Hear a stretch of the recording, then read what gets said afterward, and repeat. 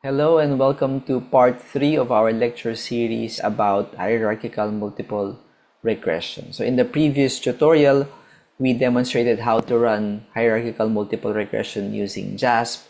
And for today, I will teach you on how to convert those results into an APA formatted table. Because as much as those results can be copy and pasted from the JASP platform to your word processor such as Microsoft Word, the formatting is really not ideal. So you have to reformat it into something that is acceptable to publications. So that's what we will discuss for today. But before we continue, I'm inviting everyone to please subscribe to the channel. About 90% of the people who are listening to these lectures and watching these tutorials are not yet subscribed. So I'd really appreciate it if you can help me by subscribing. Thank you very much. So as what I've said, you can actually copy results like this. You can click on copy and then you can go to a Word document and paste those results into a Word document such as this. And the tendency of students is to submit the report no, including these tables. But these tables are really not ideal because they're not formatted in APA. And if you want to format these tables in accordance to APA, it's difficult to format them because as you can see, if we put lines in all of these cells, the cells are really very complicated, right? Even if for correlation, the lines are really very complicated. So from these outputs, by the way, so this is the output for the descriptive statistics.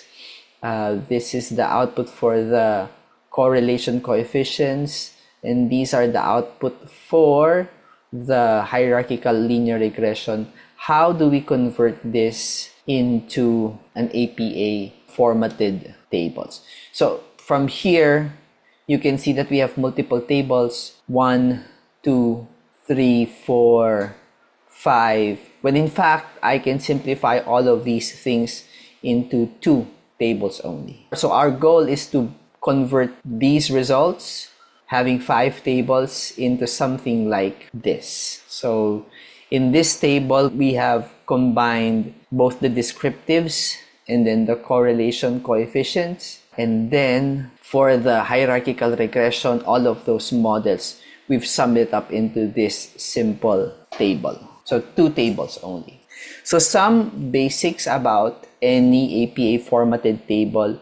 So at the very top, the table is labeled using a table number, such as table 1. You will notice that table 1 is in boldface. There is no period after the numeral. And then the table title is in upper and lower cases and it's not boldface, it's italicized and it's double spaced. Okay, so remember those things. For the tables, if I put lines in here so that you can see, you can see that unlike the output from JASP, it's quite simpler. No? So you'd have to create these tables yourself no, by using the insert table function. So all you have to do is kind of determine how many rows and how many columns do I need. And then you can add and subtract columns uh, if necessary. By the way, my Word document is in landscape view specifically for this output because I have many variables. As much as possible, if you can fit your tables into a portrait, then that would be better. If not, then you have the option to do the landscape orientation. But other things to remember, so each column should have a heading. So I could add here uh, variables. So all of the headings are centered, not bold, Statistical notations that are non-Greek letters should be italicized.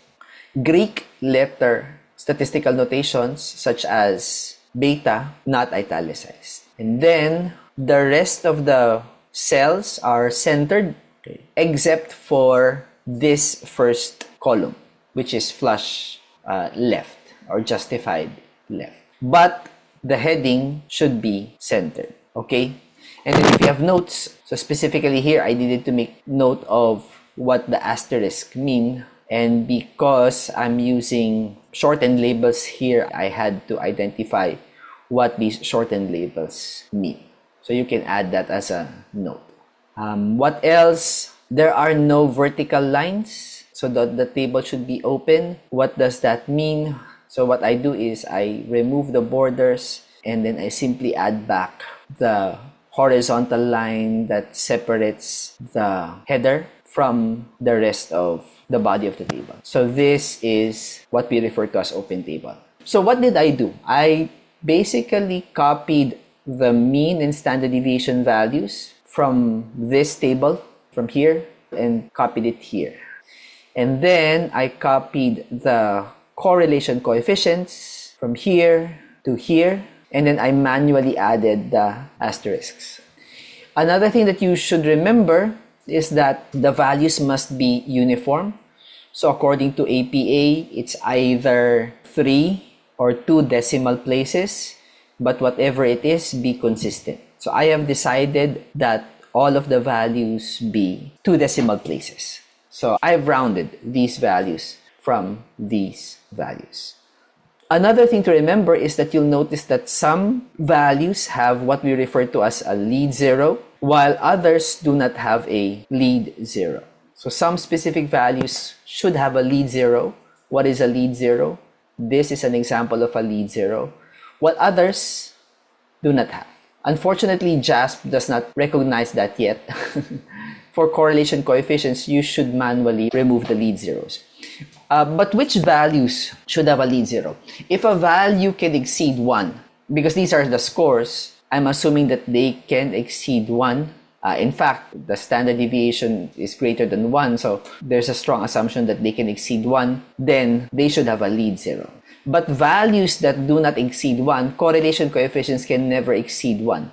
The maximum correlation coefficient is positive 1 and negative 1 there's no correlation coefficient beyond 1. So for values like that, such as p-values, correlation coefficients, regression coefficients, particularly standardized regression coefficients, they do not exceed 1, therefore you should remove the lead 0. And also to simplify, you will notice that my headers, instead of, oh, let me change this. So I removed some variables from the original table. So this should be 2, 3, 4, 5, 6, 7, 8. And then this should be, so 1 referring to math proficiency. So this should be 2, 3, 4, 5, 6, 7. So for example, 3, so 3 is school safety risk, this one. So the relationship between belongingness and school safety risk is there, negative 0.17.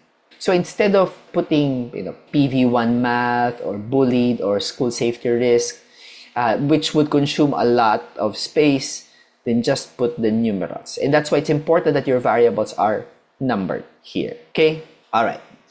Uh, what else? So there, no, so I basically combined the two tables, descriptives and the correlation coefficients into one. This is an unnecessary row that's basically removed. Next one is the table for the hierarchical multiple regression. Again, same format, table 2, boldface, uh, the table title, upper, lower cases, italicized, then double spaces. By the way, what font should you use? I think APA suggests uh, a variety of font types, Times New Roman, Arial, Calibri. Font size, for as long as it's readable, depending on the kind of information. For this, I think the font size is 11. So for as long as it fits the page well, then there's really no problem about it. But don't use a font size that's too small, of course. So what I did here, if we go to the original output, what we actually need here is basically the individual contributions. So among the many possible values that I can include. I limited it because we have limited space. I limited it to the standardized regression coefficient, standard error, and then the beta or the standardized regression coefficient. So you have it here, the unstandardized regression coefficient, which is annotated as B, SE for standard error, and then for the standardized regression coefficient, this one. So the notation is beta. So again, italicized for non-Greek letter statistical notations.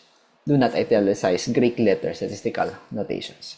Same thing, I limited it to two decimal places. Some have lead zero, uh, but the standard regression coefficients do not have lead zero because they do not exceed 1. And then I did this for the three models. So we have your model 1, model 2, and model 3. So for model 1, this only includes information about you know, sex and socioeconomic status. For model 2, sex, socioeconomic status, bullying, school safety risk. And for model 3, sex, socioeconomic status, bullying, school safety risk, belongingness, and teacher. If you want to see how this looks like with the borders, there you go, so that you can visualize what you need to do. So some cells are merged, as you can see. And then instead of reporting the t values and the p values, I simply put an asterisk on the significant regression coefficients. And similarly, I put a note here below so that the reader knows what the asterisks mean. So only three information instead of one, two, three, four, five. And then for the model summaries, I simply reported the variance, r squared. Where do we get that? Here. So you will notice, so this is 0.07, which is rounded up. And then 0.23, which is this value. And 0.28, which is from here. And then the change in R, where did we get that? So from here, change in R. Obviously, this is the first model. So the R squared and the change in R are the same. Okay, so this one, change in R, that's that, so forth and so on. And then if these are significant, so the corresponding F ratio for the change in R. So these values are from here. And then whether they're significant or not is identified again by the asterisk. Okay, and then similarly, because I used shortened labels, I also identified what these are. For sex, which is a dichotomous variable, I also identified how I coded it. No? Male 1, female 0. And then, so if we make this an open table, like that, hmm, there,